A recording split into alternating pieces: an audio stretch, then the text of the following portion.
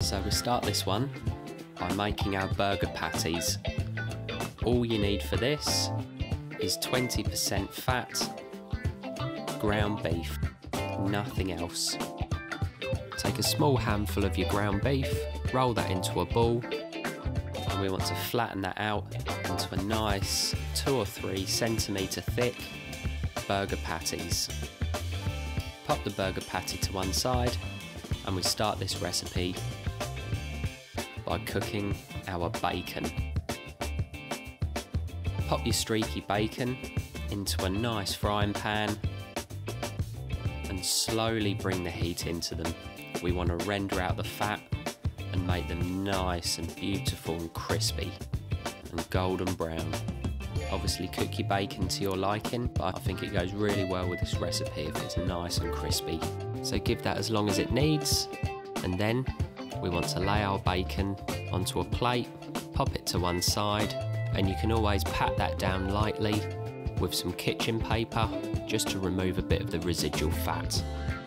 Take your brioche buns, and we want to toast those off in the residual fats from the bacon so give them two or three minutes and once they're beautifully toasted off and golden brown on the bottom then take them out of the pan and we just want to pop those to one side while we cook our burger patty so clean out your pan add a nice splash of extra virgin olive oil and lay in our burger patty give that a nice season with sea salt and black pepper.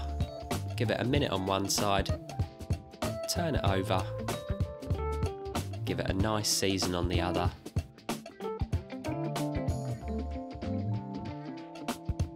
And we want to cook our burger for about two or three minutes. Get a nice golden brown crust on the outside and leave it nice and tender and juicy in the middle. So, turn it a couple of times two or three minutes in the pan and then we want that to rest for a couple of minutes while we cook our egg. Reduce the heat in the pan down to medium, crack in your egg, give that a little season with sea salt and black pepper and after a couple of minutes cover that with your cheese and pop a little lid over it so it steams for about a minute or two until the cheese starts to beautifully melt through. And now we're ready to plate.